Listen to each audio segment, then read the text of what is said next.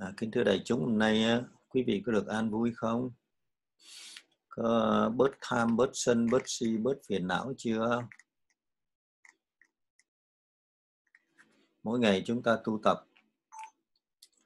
À, thưa đại chúng là cố gắng làm sao chúng ta à, tu tập cho nó nó tiến bộ. Tiến bộ có nghĩa là bớt đi, chứ không phải thêm. À, có nhiều vị nói con đi chùa con tụng kinh. Bái sám cái gì cũng làm hết á tụng kinh bái sám sám hối rồi uh, quét sân chùa rồi làm đủ thứ. Cái gì cũng làm. Sư hỏi chứ còn có phiền não không? Nó vẫn còn. Tức là cái gì cũng còn hết à. Ừ, còn phiền não. Thế thì uh, chúng ta tu tập chúng ta phải biết phiền não nó từ đâu ra. À, thưa chư vị. Khi chúng ta biết là phiền não nó từ đâu ra rồi, thì chúng ta sẽ à, có cái cách để mà ừ, triệt tiêu nó. Nếu không biết nó ở đâu thì thua ừ, chịu thua. Nhưng khi đã biết nó ở đâu ra rồi, thì chúng ta có thể tìm cách à, chúng ta à, triệt tiêu nó được. Ừ, phải biết nó từ đâu ra. Thế thì Đức Phật dạy cho chúng ta, ngài nói rất rõ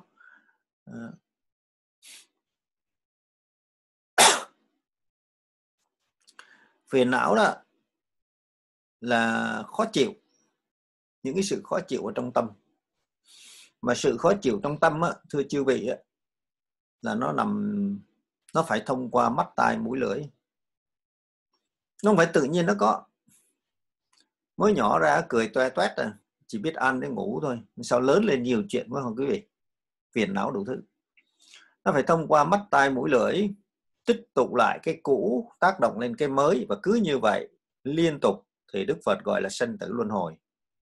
Nó liên tục nó cứ trôi trôi trôi hoài như cái dòng sông vậy đó trôi hoài. Thế Đức tập à, Đức Phật đó, mới chế ra giới để giúp cho chúng ta ngăn ngừa nơi mắt nơi tai nơi mũi lưỡi thần ý. Và sợ rằng ta không hiểu cho nên Đức Phật phải nói cái bài kinh lửa cháy đó lửa cháy nơi mắt, lửa cháy nơi tai. Thế thì lấy giới mà ngăn ngừa. Lấy giới để dập tắt cái lửa đi. Lửa tham, lửa sân, lửa si. Thực sự ra đó, đức phật nói để cho người ta hiểu. Tại vì dân chúng thì họ không hiểu nổi. Giáo lý nó cao siêu quá cho nên đức phật mới nói lửa tham, lửa sân, lửa si. Chứ nếu gom lại hết rồi đó, nó chỉ có một thứ à. Đức Phật nói trong bài kinh ờ, uh, Lokasutra ngài nói tất cả chỉ là lửa và lửa di động hai điều à. thứ nhất là lửa tức là nóng khó chịu đốt cháy. Và thứ nhì đó là nó di động tức là nó không có đứng yên chỗ. Có khi ờ, chúng ta có tham nơi mắt rồi cái nó chạy xuống tham nơi mũi rồi nó chạy xuống tham nơi miệng. Trong lúc chúng ta ăn á ăn một cái bữa ăn á, thì cái tham nó sanh nó không biết bao nhiêu lần. Mắt nó tham, nó thấy là nó muốn ăn rồi. Mắt tham cái sao thưa chư vị? Nước miếng nó chảy. Mũi tham thì sao? Mũi tham thì nước miếng nó chảy. Chưa ăn, mới nhìn thôi, mới ngửi thôi, thì đã nước miếng chảy rồi, tức là tham ăn.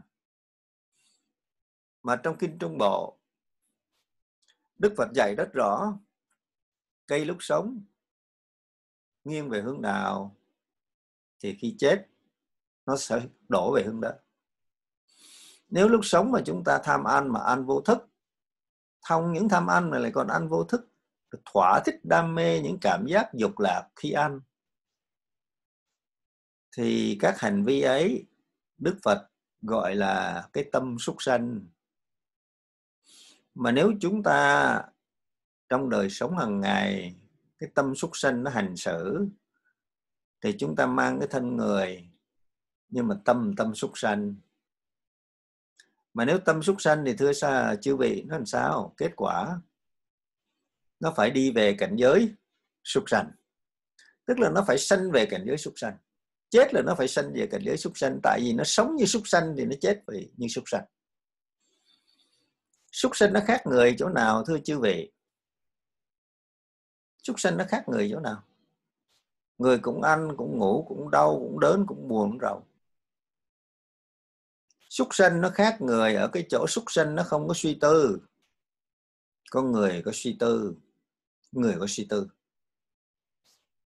Cho nên đức phật ở trong kinh pháp cú á, ngài nói cái phẩm sống yếu á, câu đầu tiên á, ngài nói ý dẫn đầu các pháp. Người ta dịch là ý chứ nó không đúng nó là manyo. Manyo tức là ý suy tư, chứ không phải ý cảm xúc. Ý suy tư có nghĩa là mọi việc ta đều có suy nghĩ. Đúng sai, lợi, hại, rồi ta mới làm, ta mới nói. Việc gì có lợi mình lợi người thì mới làm. Việc gì mà có lợi mình mà không lợi người thì thưa chư vị, đó là ác. Mà việc gì có lợi người mà không lợi mình thì đó là ngu. Vừa ác vừa ngu thì hỏng. Cho nên chúng ta phải có tuệ giác. Mà muốn có tuệ giác thì đức phật ở trong kinh tăng chi ngài nói rất rõ. Ngài nói tội nghiệp cho chúng sanh. Đứa nào nó cũng có cái tánh giác trong suốt như là nước. Đó, từ khởi thủy. Từ khởi thủy cái tính nó rất là tốt nhưng mà trôi lăn trong ba cõi sáu đường trong vô vô lượng kiếp mắt tai mũi lưỡi, để rồi thương nhớ, ghét, buồn, vui, giận, hờn những thứ đó nó giống như tạp chất đó.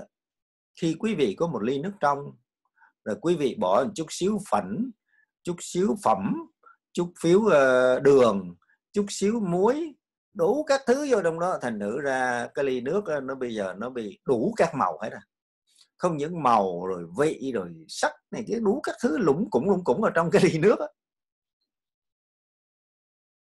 khởi thủy nó là trong. Quý vị nấu nước đó, quý vị nấu nước sôi đó quý vị à, để ý rồi tu tập chúng ta phải quán chiếu từng cái hành động. Sáng ra uống ly trà uống ly cà phê đó.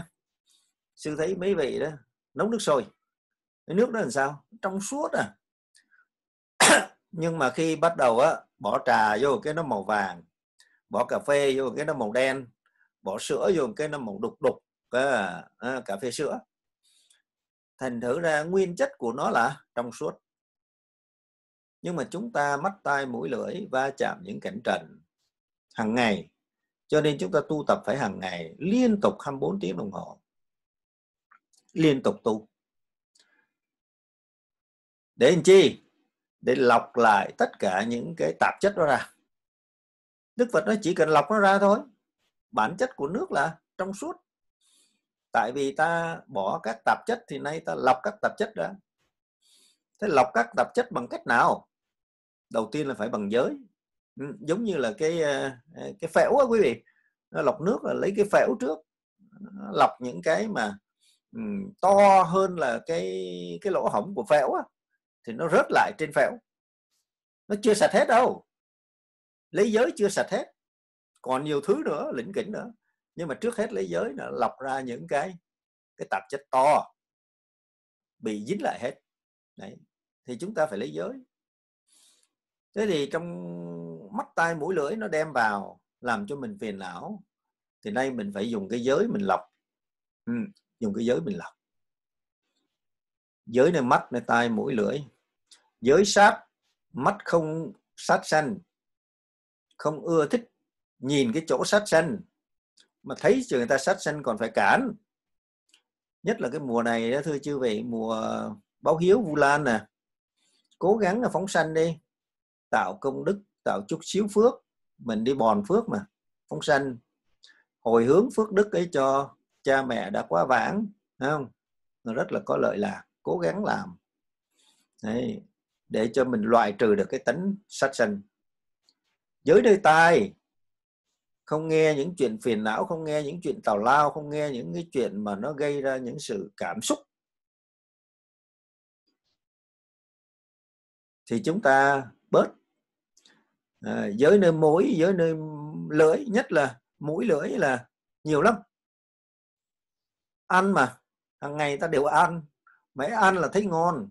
Bởi vậy á à, đức phật ở trong uh, kinh trung bộ ngài nói rất rõ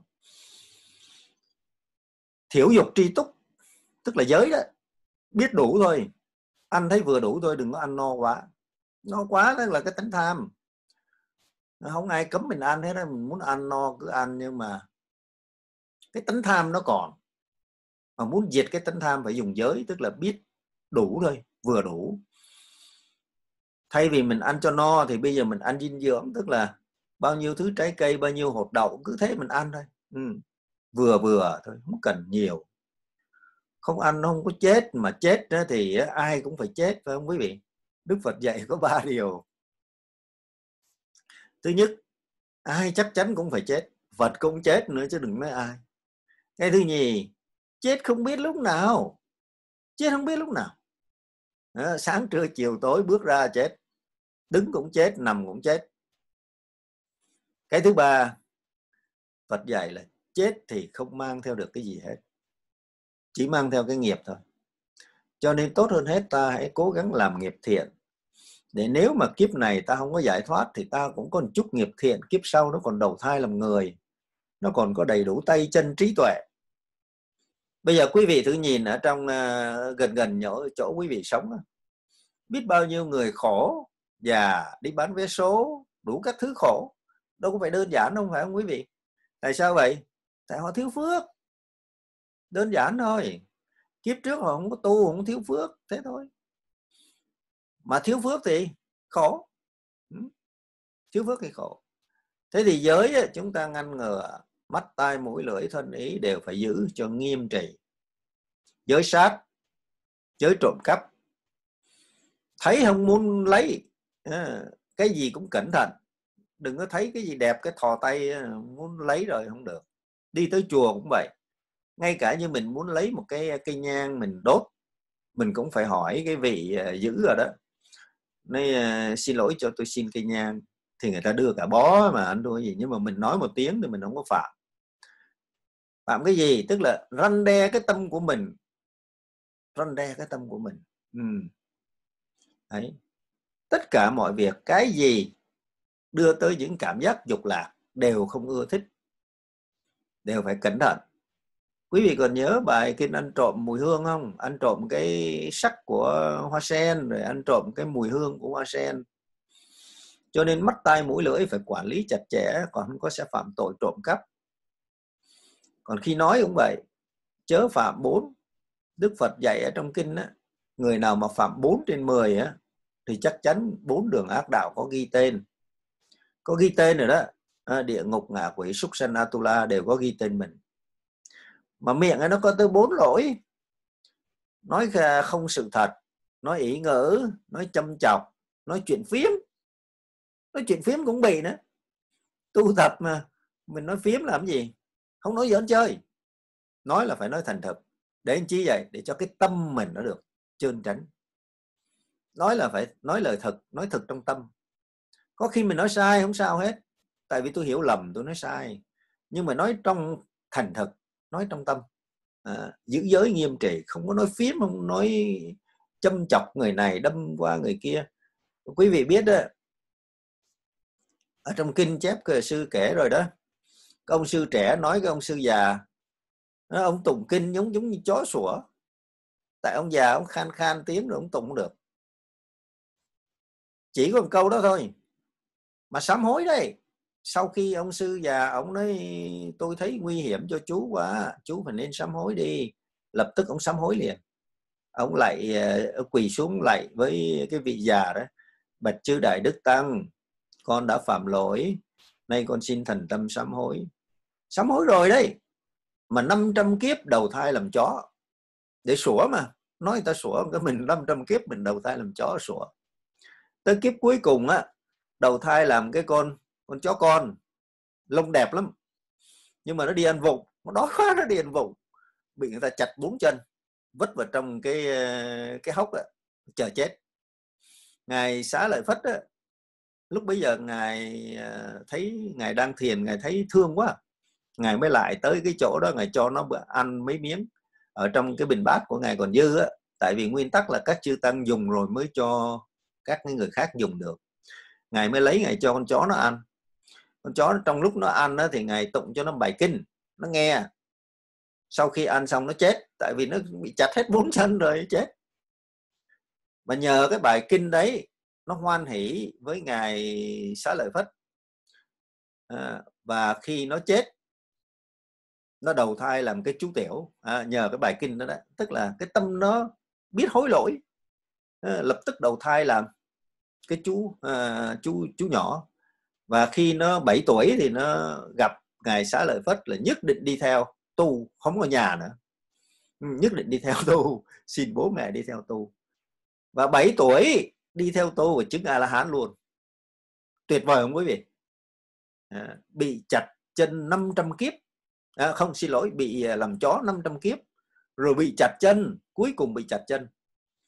À, nhưng chỉ nhờ có cái bài pháp của ngài xá lợi phất khai ngộ cho nó nó nó hiểu được và nó buông buông buông tất cả những phiền não buông tất cả những sự chấp thủ để rồi đầu thai làm chú bé và đi theo ngài xá lợi phất làm đệ tử. Sa di á mới có 7 tuổi sa di à mà chứng a la hán tức là giải thoát luôn đó quý vị. Thế thì cái uh, câu chuyện nó nói cho chúng ta biết cái gì đây thưa chư vị? Không phải là chỉ nói cái chuyện phạm lỗi nơi miệng thì cái chuyện đó ai cũng thấy phải không quý vị? Ai cũng biết ở uh, nói uh, phỉ bán người ta nhất là phỉ bán một vị tăng thanh tịnh. Thì đương nhiên là chịu cái quả rồi phải không? Rõ ràng phải không? Cái đó khỏi phải bàn phải không? Biết rồi phải không? Nhưng mà nó nằm ở trong tứ diệu đế này thưa chư vị. Là sao? Cái vị này phạm lỗi nhưng mà cái tâm á, nó còn tranh chấp, đố kỵ, ganh tị với ông sư già. Và nó phải làm chó 500 kiếp, làm chó đầu thai, làm chó 500 kiếp. Nó mới ngộ ra được. Cuối cùng bị người ta chặt chân rồi ngài xá lợi phất tụng cho bài kinh mới ngộ. Có nghĩa là sao? Tức là phải thấy cái khổ. Làm chó 500 kiếp, khổ quá, chịu không nổi. Phải thấm cái khổ, trải nghiệm cái khổ. Chứ không phải nói lý thuyết, nói khổ khổ, tukha tukha, nói vô ích. Người nào á, ở nhà đó, xin lỗi quý vị nha, sư nói đừng giận nha. Chồng nó đánh, chồng nó chửi. Là có phước ấy. Lúc bây giờ mình mới biết mình khổ chồng nó mắng mình mình mới biết mình khổ. Mà cái chỗ khổ đó mình biết cái tâm khổ. Tôi không phải là ở chùa tôi không phải ở rừng. Mà tu ở tâm á, khi cái tâm nó đã định rồi thì chỗ nào cũng là chùa, chỗ nào cũng là rừng. Ở giữa chợ cũng là rừng. Tại mình có thấy đâu, con mắt, tai, mũi, lưỡi mình không có dính nữa, thành thử nó giống như ở rừng vô tư. Nhưng mà cái tâm nó chưa định, thì ra nhìn thấy cái gì cũng sao xuyến. Chồng tôi, vợ tôi, nhà tôi, xe tôi, chùa tôi, y tôi, áo tôi, chuông của tôi, cái gì cũng của tôi vậy. Rồi sanh tử luân hồi cũng của tôi luôn. Đấy. Thế thì cái chuyện mà cái ông sư trẻ đó ông bị làm chó 500 kiếp á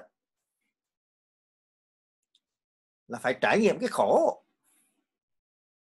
Phải trải nghiệm cái khổ. Không trải nghiệm cái khổ thì không thế nào chịu nổi không thế nào thoát nổi. Nhưng sư tò mò lắm quý vị. Sư không phải học pháp mà như người ta là ờ à, cứ nghe nói nghe nói vậy thôi chứ sư là suy nghĩ dành nhiều thời giờ đặt câu hỏi để mình hiểu rõ cái ý Phật dạy. Cái ý Phật dạy. Ta phải thắc mắc. Tức là văn tư tu á, nghe rồi suy nghĩ thắc mắc à, rồi mới hành trì. Thế thì sư thắc mắc như thế này thưa chư vị. Không biết nó có vô duyên không nhưng mà sư thắc mắc là sư cứ nói cho quý vị nghe rồi quý vị hoan hỷ cho sư nha. Sư nói, ủa, tại sao con chó này, tại sao cái ông sư này ông bị đầu thai làm con chó 500 năm 500 à, kiếp? Tại sao ông bị đầu thai làm con chó 500 kiếp? Mà ông 600 kiếp, mà ông 400 kiếp, hay là 450 kiếp, mà phải 500 kiếp? Đầu thai làm chó 500 kiếp. Để cuối cùng làm cái con chó nhỏ bị chặt bốn chân đấy. Ý Phật nói cái gì đây? 500 kiếp đấy là con số 5 ấy quý vị. Con số nhiệm màu. Mắt tai mũi lưỡi thân là năm chứ gì? Phải không quý vị? Nói theo người sơ cơ đó. Năm ấy là mắt tai mũi lưỡi thân. Ừ. đóng lấy cái giới khóa lại vì phạm giới tức là phạm mắt tai mũi lưỡi thân.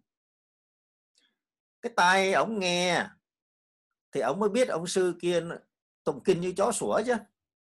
Con mắt nhìn thì mới thấy, rồi miệng mới nói. Tức là tức là sao thưa chư vị? Ngũ quẩn đấy, sắc thọ tưởng hình thức. Sắc ngoài biến thành sắc nội. Nếu không hiểu được điều này không giải thoát nổi. Bởi vì Phật nó tu cái ngũ quẩn này nè tu sắc thọ tưởng hành thức thì giải thoát hết à. Mà phải tu, tức là phải trải nghiệm. Cho nên ông sư này đó, sau khi chết, ông bị đầu thai làm chó 500 kiếp. Quý vị tu cao cấp rồi, đừng có chấp chữ nghĩa mà đừng có mê tín. Đừng có nói ở trong kinh nói là đầu thai 500 kiếp làm chó, cái hết hồn cứ nghĩ làm chó 500 kiếp. Cẩn thận nha. Đức Phật dạy là đều có dụng ý. Đối với người sơ cơ thì ngài nói như vậy để cho nó đừng có phạm lỗi, mà nó bị khổ. Nhưng đối với cái người mà có tu tập tu tập muốn giải thoát sinh tử, thì Đức Phật nói ẩn dụ. Đấy.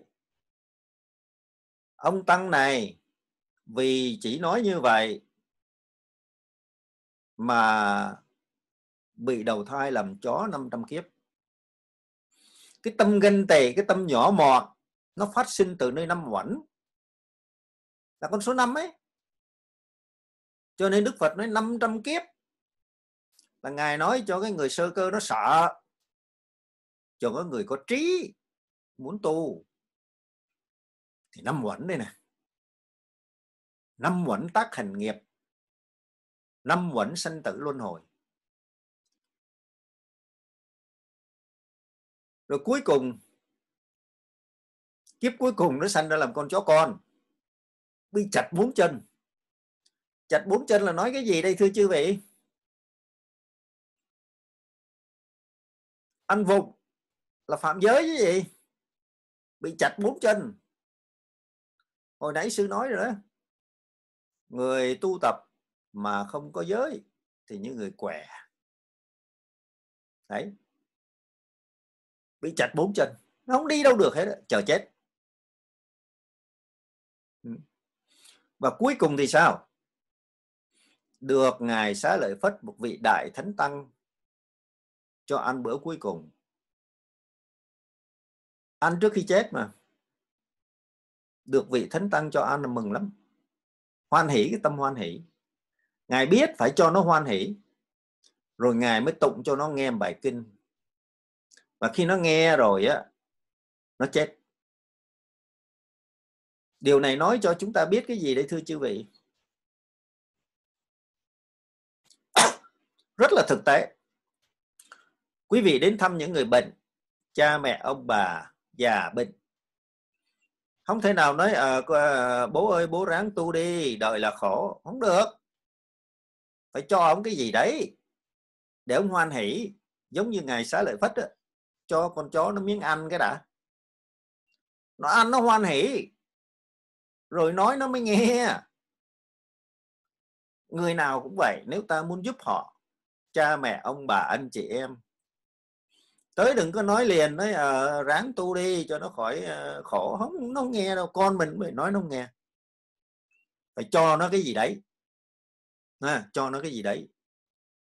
Thực tế mà.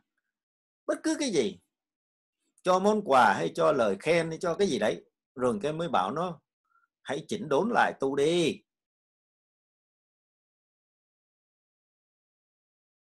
Quý vị tưởng cái chuyện đó nó chỉ có áp dụng trong đời thường hả? Không. Áp dụng cả trong đạo ấy. Cũng phải dỗ ngọt đó ngày cấp cô độc á, quý vị nhớ ngày cấp cô độc không? Ông cất cái vườn kỳ viên cho đức phật đó mà con trai ông nó tối ngày nó chơi cờ bạc không à? Ông bảo nó đi tu, nó đâu nghe. Ông mới giả bộ, ông bệnh ông nói, con ơi, con ráng bố bệnh quá, bố không có đi nghe đức phật dạy được mà bố rất muốn nghe coi đức phật dạy cái gì. Con cố gắng con đi nghe đức phật dạy. Rồi con về, con thuật lại cho bố nghe. Mỗi lần như vậy bố cho con 10 lượng vàng. Dụ nó mà, cũng phải dỗ nó lần thứ nhất nó ra nó đứng kế bên phật nghe nó về nó nói trật lất không được. Lần thứ gì cũng trật lất lần thứ ba nó tức quá. Nó nói con nhất định phải có 10 lượng vàng. À, cho nên nó cố gắng nó nghe. Rồi nó về nó thuật lại đúng y như vậy. Ông thưởng nó 10 lượng vàng. Tới lần thứ hai thứ ba nó nghe cái nó bỏ nhà đi tu theo Phật luôn. Nghe thích quá. Bỏ hết đi tu theo Phật tức là cũng phải dùng cái trước để mà dụ. Trong đạo cũng vậy. Đức Phật đó, cũng phải làm thế. Đối với ngài Ananda đó là em họ ở trong nhà vua lúc Đức Phật chưa tu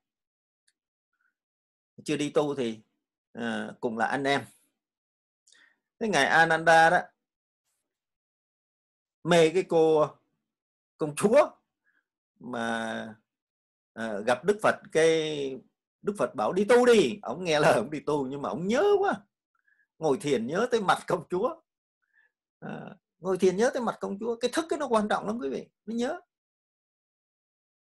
Để Đức Phật biết ngài mới ờ, dẫn ông đi lên cung trời cho ông xem.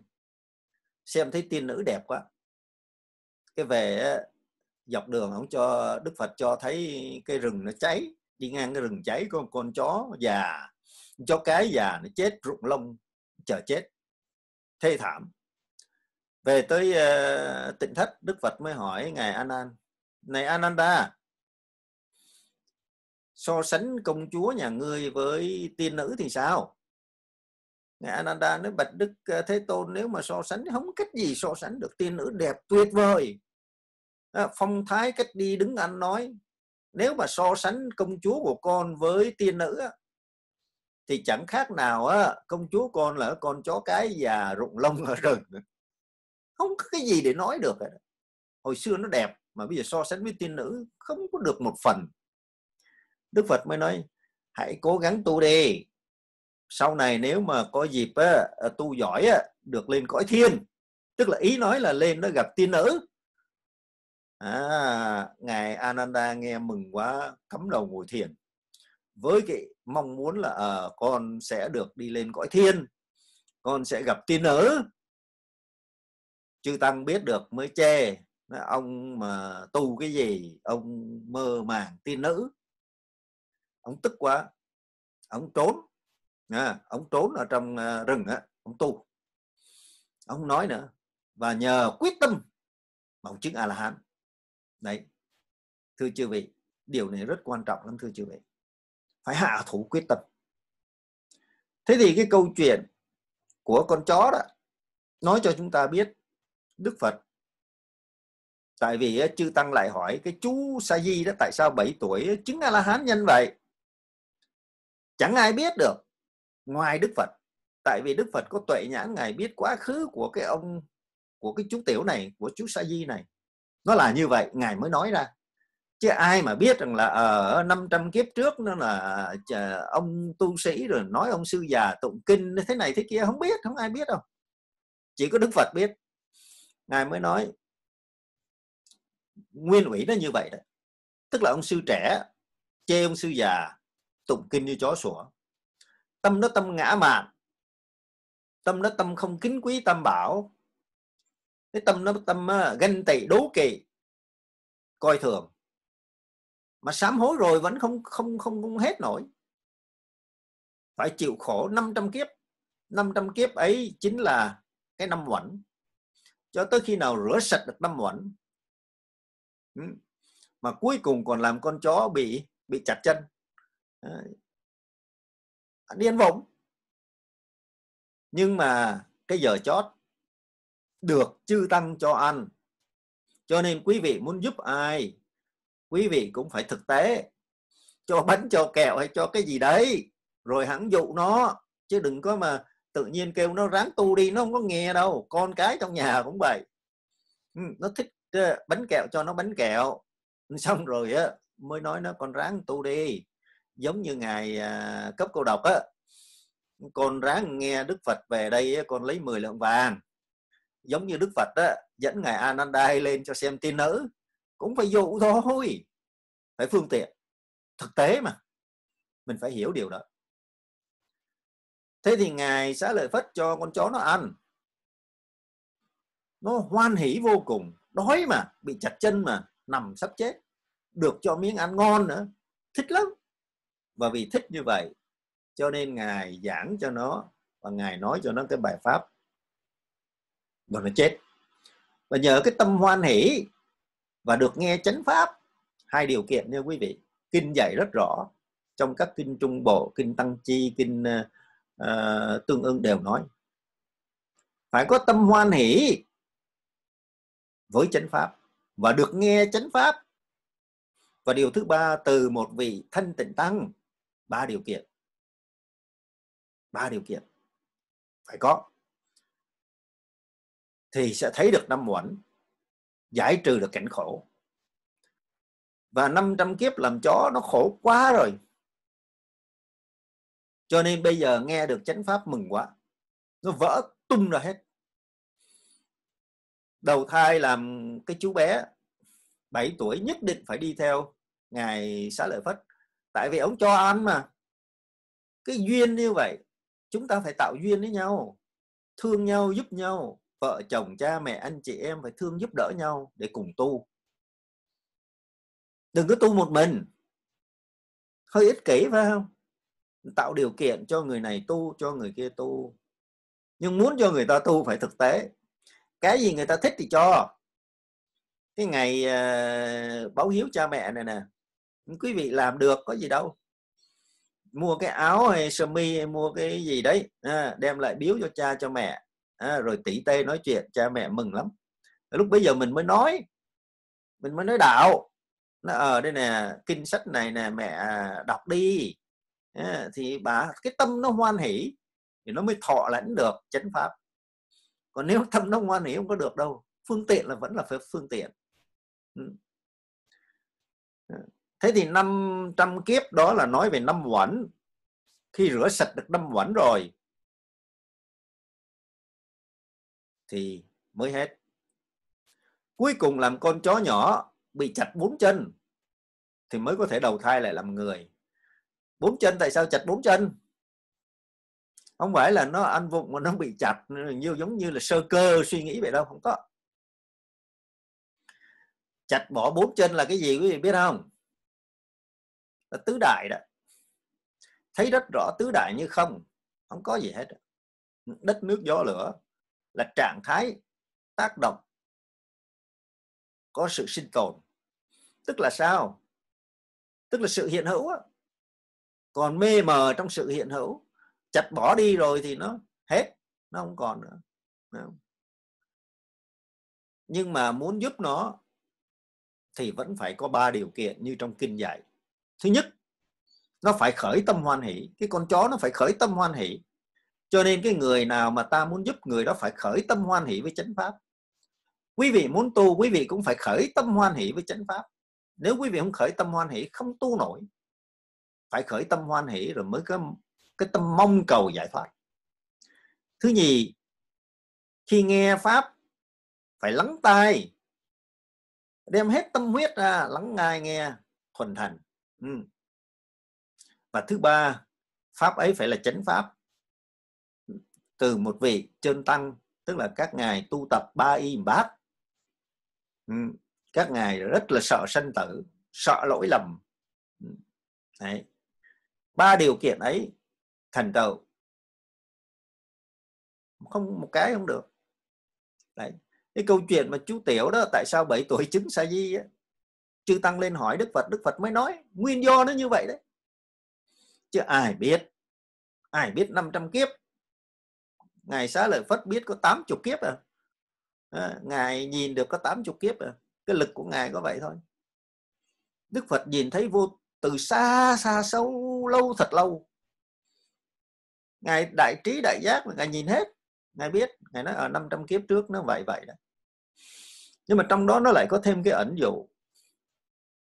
Phải thấy khổ. 500 kiếp làm chó khổ qua quý vị cứ thử tưởng tượng đi nếu bây giờ mình phạm lỗi, phạm giới, rồi để 500 kiếp sau mình tiếp tục làm chó nữa, khổ không quý vị? Phải sợ hãi cái đó, phải sợ cái đó thì mới ngăn ngừa được mình không phạm giới nữa. Có năm cái giới à không sát sanh, không sát sanh nơi mắt, nơi tai, nơi mũi, lưỡi thân. Ừ. mắt nhìn cái chuyện ta sát sanh cũng phải cản nữa, chứ đừng có vui, thấy người ta sát sanh vui cũng được. Ừ. không trộm cắp thấy của ở bên ngoài đường á không khởi lên cái tâm ưa thích. Âm nhạc cũng vậy cũng ưa thích nữa. Tại vì nghe mà không gọi là, là ăn trộm đó ăn trộm âm thanh. Không tà dâm. À, con gái ra ngoài đường thấy ông nào đẹp trai cái tự nhiên khởi ý ưa thích là dâm đấy.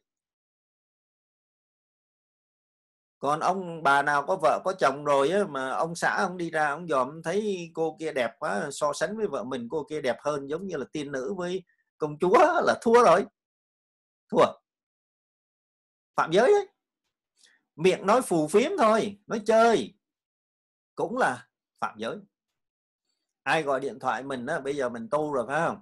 Ai gọi điện thoại mình mà cứ nói chuyện bà tám này kia nói chuyện nhiều đó mình khéo léo mình nói chị ơi, em à, đang bận lái xe, em không nói chuyện, không nói chuyện được nhiều. Hay là em đang có khách, em không nói chuyện được nhiều, chị thông cảm cho em. Không làm cho người ta hờn giận. Nhưng mà cắt đứt không có nghe. Tại sao vậy? Tại vì quý vị nghe mấy cái phím nó vào trong lỗ tai đưa lên thức, rồi nó biến mình trở thành con người bà tám, con người nhiều chuyện. Thì mình đâu có muốn phải không? Mình còn muốn vất đi mà rác mà. Đấy. Đấy. Năm căn giữ cho chặt bằng giới thì năm quẩn nó sẽ được rửa sạch. Đấy, chân lý của cái bài ngày hôm nay là như vậy. Cố gắng nha quý vị. Ngoài giới, không có cái nào mà giúp cho chúng ta bước vào chánh pháp được. Giữ giới cho nghiêm trì, mắt tai mũi lưỡi thân. Ừ. năm cái giới không trộm cắp, không tà dâm, không nói dối, không sát sanh. Ừ nhất là cái giới nói nói dối nói phì nói phù phiếm phạm cái đó nhiều nhất. Ừ. À, không à, hút thuốc không rượu chè à, ừ, không uống những cái chất say sưa thì đại khái cái, cái, cái giới thứ năm là cũng có thể giữ được. Không hút thuốc không uống rượu thì cũng có thể giữ được. Không sát sanh thì cũng có thể được không trộm cắp cũng có thể được không tà dâm thì cũng có thể giữ được. Nhưng mà cái giới không nói ôi thôi nó đủ mọi thứ chuyện nữa này. nói chuyện phiếm đức phật cấm cấm nói chuyện phiếm luôn. Sư hồi hướng nha. Nam mô bổn sư thích ca mâu ni phật. Nguyện cho những phước lành do sự tu tập thanh tịnh của chúng con.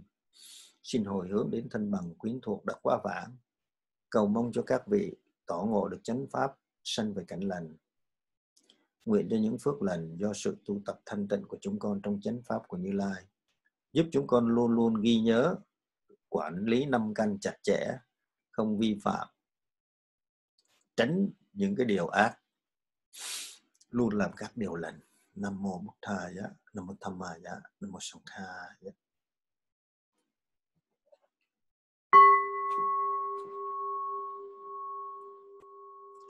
sa thú thưa đại chúng à,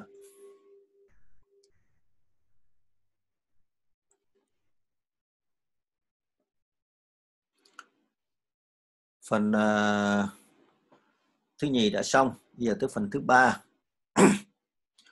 À, là phần thông báo. À, trước khi đi vào phần thông báo thì có một vị hỏi sư là ái và kỉnh là gì? À, trong kinh tàm quý đó kỉnh là tôn trọng kính là kính đó à, kính là tôn trọng. Nói chữ kính là do à, sư à, tuệ sĩ à, hòa thượng tuệ sĩ dịch gọi là kính kính tức là kính trọng. Kính là kính trọng. Ừ. ái là quý mến. À, quý mến. À. làm tổn hại sự quý mến và kính trọng. Mình có quý ai? À, mình có tôn trọng ai thì mình mới quý người đó. À, cái vật gì cũng vậy. Nếu mà mình có quý cái vật đó thì mình mới trọng. Thí dụ như tượng phật mà mình có quý kính phật thì mình mới tôn trọng cái tượng phật.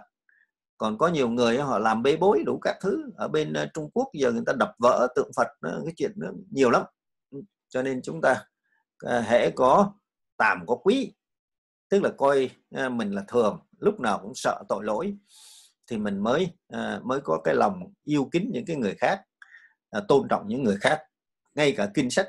Ừ. Mình mới biết mình có lỗi, mình mới nghe pháp, mình mới chú ý, rồi mình mới hành trì. Còn nếu mình không có không có tàm quý, tức là không có tôn trọng và không có uh, biết cái cái cái cái cái, uh, cái sự tầm thường của mình.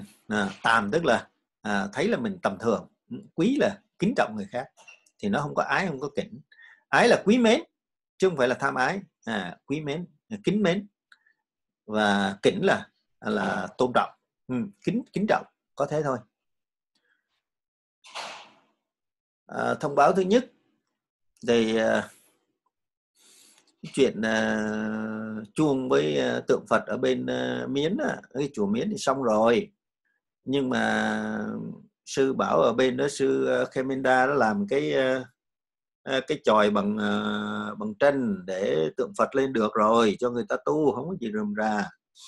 Nhưng mà có một số phật tử thì lại nói để vậy thấy cảm thấy xót xa cho nên muốn là phát tâm để mà làm cho nó tôn tươm tất chút xíu. Tức là làm bằng sắt rồi có mái tôn lợp này kia cho che.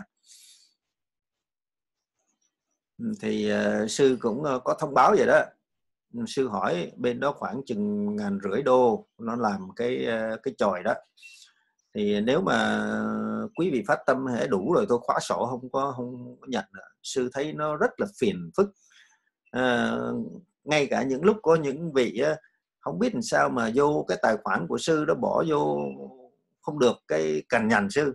Nó sư ơi, cái tài khoản sư nó làm sao á sao á? Sư nói, sư đâu có biết đâu, Vietcombank, người khác làm được, tại sao bà làm không được, sư đâu có biết đâu, phải không? Người khác họ làm được, người khác họ chuyển vào đừng dễ ợt, có gì đâu mà sao bà làm không được thì sư cũng biết thì thôi tùy, và cũng xin hoan hỷ, nếu bỏ không được thì đi ra ngân hàng bỏ vô. Ờ, sư có cho hai cái số đó một số là số thẻ bằng chuyển điện tử một cái là số uh, chuyển uh, chuyển bằng uh, uh, và ra ngân hàng đóng vào thì hoan hỷ chứ còn sư có biết đâu sư đang ở bên úc mà sư đâu có ở việt nam sư đâu có biết nó làm sao đâu việt nam chịu, chịu thua luôn ừ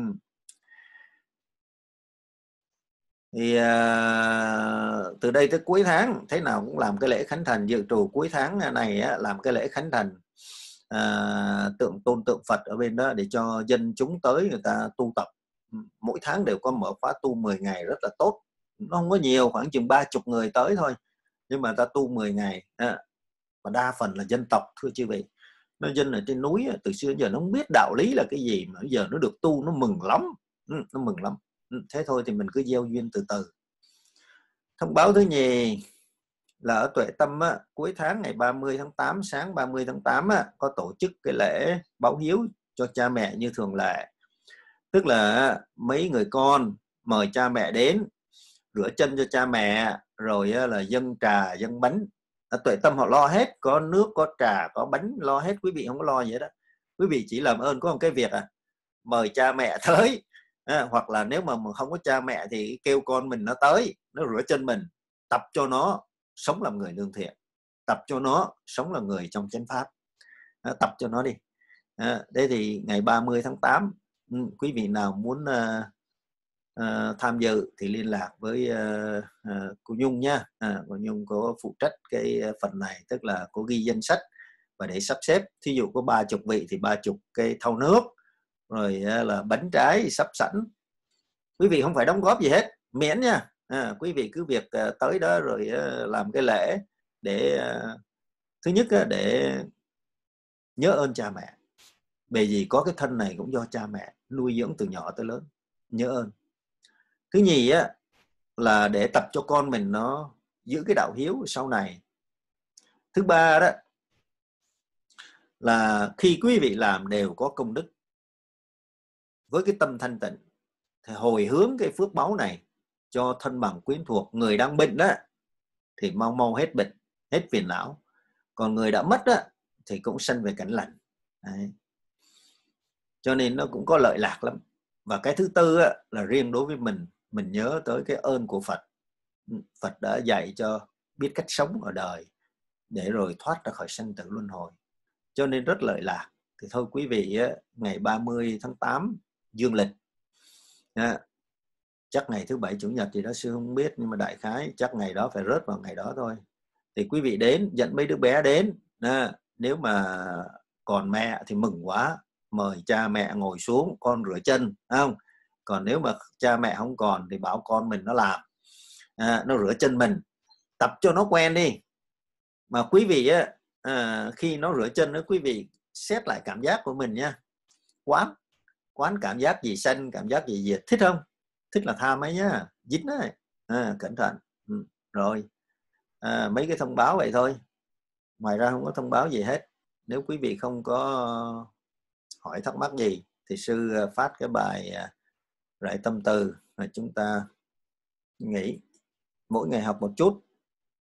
À, hôm rày có được à, một cái chú ở không á chú cũng phát nguyện chú ờ, cắt mấy cái ờ, bài giảng này này bài giảng về giới á, bỏ lên thấy cũng tạm tạm. Thôi thì mục đích chính của sư á, là thứ nhất là phổ biến Phật pháp. Thứ nhì á là để cho người ta lúc người ta cắt người ta phải nghe. Mà chính là người ta nghe là người ta tu á. Người ta nghe là người ta tu. À, vậy thôi nhưng không có gì hết á. Nó phải nghe kỹ rồi cái khúc nào cắt sư dặn nó khúc nào mà nghe nó chối tai thì cắt bớt đi nó sư nói nhiều lúc sư nói chân thành mà lỡ nó có đụng chạm tới mấy ông khác này kia thì làm ơn cắt dùm. Thí dụ như sư nói là cúng sao giải hạn không có lợi. Thì trong nội bộ mình biết thôi biết ở cái đó nó sai chánh pháp nhưng mà không nên phổ biến.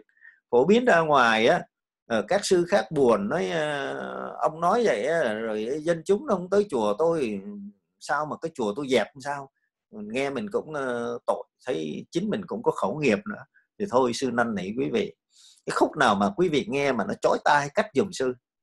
Và chính những cái cậu này á, cậu giúp á, là cậu đang tu ấy cậu đang học. Nghe riết thì nó cũng thấm giống như là là là uh, ông cấp cô độc ông bảo đứa con trai á uh, đi nghe riết nó cũng tu được. Cho nên á, mục đích chính vẫn là giúp cho người ta tu. Đấy, thành thử ra quý vị mà biết ờ, những người nào mà nó có cắt được mấy cái video clip á thì ra nói sư sư giao bớt càng nhiều càng tốt càng nhiều người càng tốt. Mỗi người làm một vài cái rồi tự nhiên nó chuyển cái tâm của nó nó tu. Cái cái cái tâm tu mới quan trọng. Còn cái bài thì anh thua gì? Thiếu gì kinh sách viết đầy đó, đó anh thua gì đâu nha hoan hỷ nha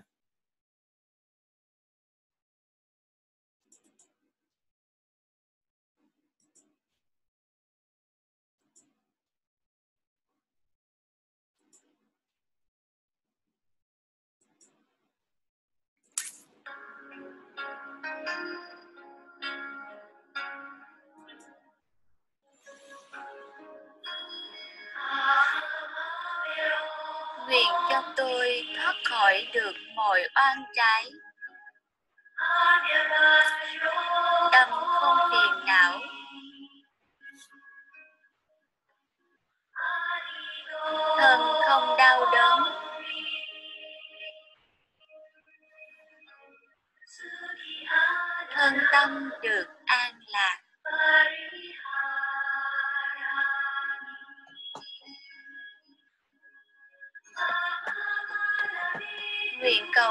cha mẹ, thầy tổ, bà con bạn bè và đạo hữu. Thoát khỏi mọi oan trái.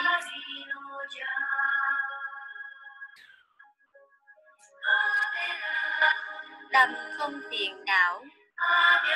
Thân không đau đớn.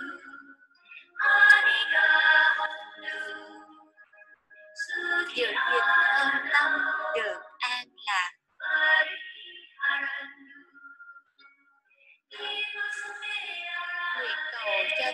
tất sinh nơi đây thoát khỏi mọi trái tâm không phiền não thân không đau đớn giữ gìn thân tâm được an lạc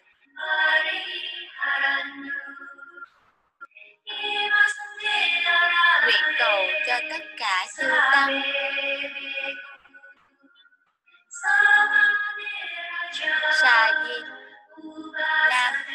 Và nữ cư sĩ ở nơi đây.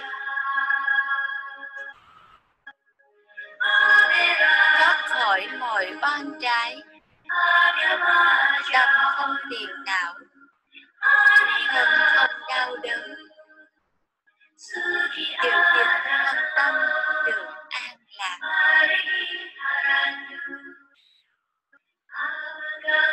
Nguyện cầu cho tất cả thí chủ cúng dường tứ vật dụng thoát khỏi mọi oan trái. Tâm không phiền não không đau đớn.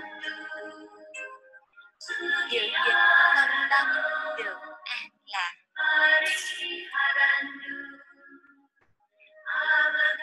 Nguyện cầu cho tất cả chư thiên hộ trì ở tu viện này hộ trì ở nơi cứu nữ này.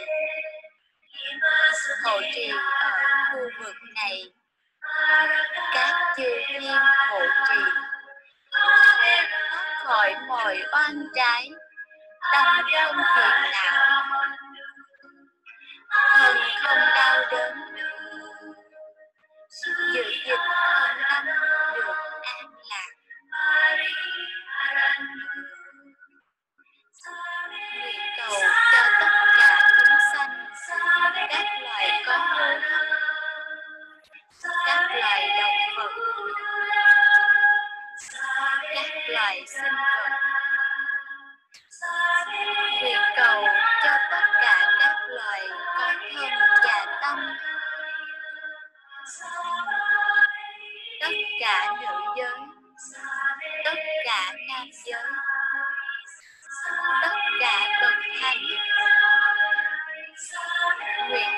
Cho người phạm cho chư thiên,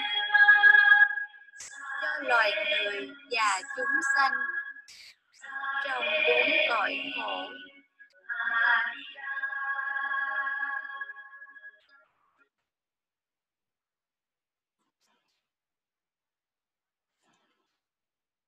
Sa thú, nguyện cho tất cả các chư vị ờ, à, một ờ, ngày được an lành trong chánh pháp của Như Lai luôn luôn nó quản lý à, mắt tai mũi lưỡi thân.